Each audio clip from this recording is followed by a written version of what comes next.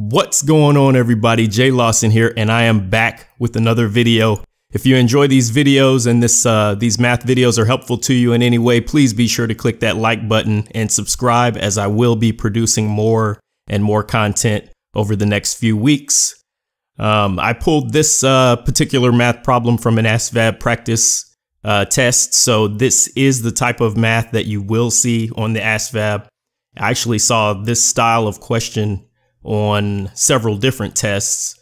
And I remember from taking the ASVAB that several problems were like this on there as well. So I really want you guys to make sure that you're able to answer these style of problems um, when they come up and immediately know how to tackle them.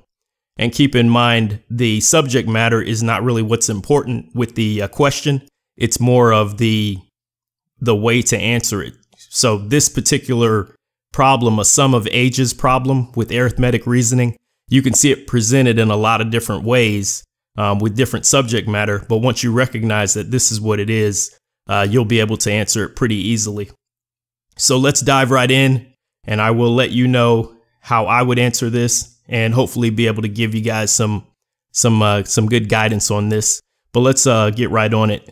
So it says Kelly is eight years older than her sister Mary, and Mary is two years younger than her than their brother Day Don. If the sum of their ages is 64, how old is Mary?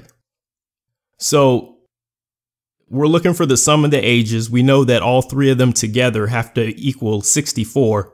This is going to be best done with one. Well, well, when you see this, you, you, uh, immediately we need to know that there's going to be a variable that's going to take place of the characters. Um, and what we'll try to do is we try to do it with one variable to make it easier to get to the answer of 64. So on one side of the equation, we have 64. And on the other side, we're going to have the, uh, the, the variable with the three characters. And we'll go with X as the variable. So let's see where the common thread is between the two parts of the, uh, of the three parts of this question. Um, so we have Kelly related to Mary in the first part and Mary related to Don in the second part. So what stands out to me is that Mary, we can use Mary as the variable in this because we know we will be able to get to the other uh, character from Mary. So what we'll do is we'll set X equal to Mary's age. And again, the reason why we did that is because we have a direct um, connection between Kelly and Mary and another one between Mary and Don. Therefore, we can uh, figure out um, related to X, Kelly, and related to X, Don as well, if we set Mary equal to X. It probably would work setting the other characters equal to X as well, but we'll use Mary because for sure she's connected with both.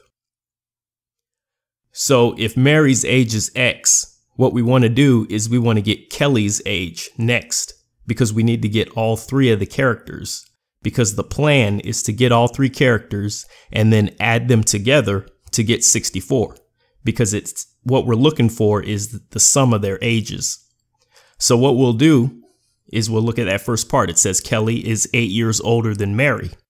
So if Kelly is eight years older than Mary, then all we have to do to find Kelly's age is take Mary's age and add 8 to it.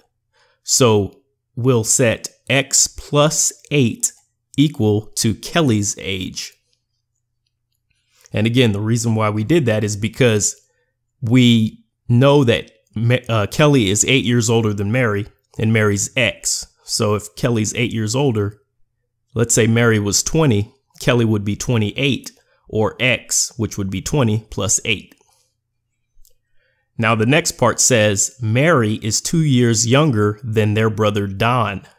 So we know Mary is younger than Don. So if Mary's younger than Don, then that means Don is two years older than Mary. So if Don's two years older than Mary, Don's age would be X plus 2. And again, we see that Mary is two years younger than Don. So Don uh, automatically would be two years older than Mary. x plus 2. Now what we can do is add these ages together and set it equal to 64 because we have the one variable and we can have the 64 on the right hand side of the equation. So when we do that, we get x plus x plus 8 plus x plus 2 equals 64. And when we simplify this, we we can combine the x's and combine the 8 and the 2 to make it look a little bit more uh, more workable. And we get 3x plus 10 is equal to 64. Now what stands out to me here is that we have that 10 that we need to get rid of so we can have the x by itself. So all we have to do in this case is just subtract 10 from both sides. And when we do that, we get 3x on the left hand side. And when we subtract 10 from 54, I'm sorry, 10 from 64, we get 54 on the left hand side. Now, all we have to do to get the value for x is divide by 3 on both sides, because when we divide 3 by itself, we get 1, which would be 1x. And when we divide 54 divided by 3, we get 18 for Mary, because x is Mary's age. So we know Mary is 18 years old. Now, that is the actual answer to the question because that's what they're asking. However, we want to take this last step, and this is what a lot of people forget, and a lot of people don't uh, work into their, uh, you know, uh, problem answering procedure, which is the check. You want to check to make sure that the question was answered correctly, so that when you move on to the next question, you know that that one's right. That way you can get to where you're doing 10, 20 question tests and you say, well, I know I got 19 right out of 20, and I think I got the other one right. Doing this type of thing will will make you feel a little bit better about the problems and it'll make you catch mistakes that you might have made. The way we're going to check in this case is all we have to do is set Mary's age equal to 18, figure out Kelly and Don's age from that, and then go back and see if it the sum of those ages is 64. And if it is, then we know that it's correct. So if Mary's age is 18, remember the first part of the question said Kelly is eight years older than her sister Mary. So if Kelly's eight years older than 18, Kelly is 26. And if Mary is two years younger than their brother Don, then Mary, I'm sorry, then Don is 20 because 18 is two years younger than 20. And if we add these three together, yes, we get 64. So therefore it checks. So always remember to put that last step in there where you check your work to verify that uh, it was correct and you'll be able to move on to your your future problems knowing that you got that one right so you'll have that little boost of confidence going into the next question um, so always remember that step.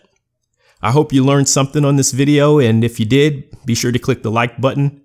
And just remember, if you always aim at legendary, you will land in success. I'm out.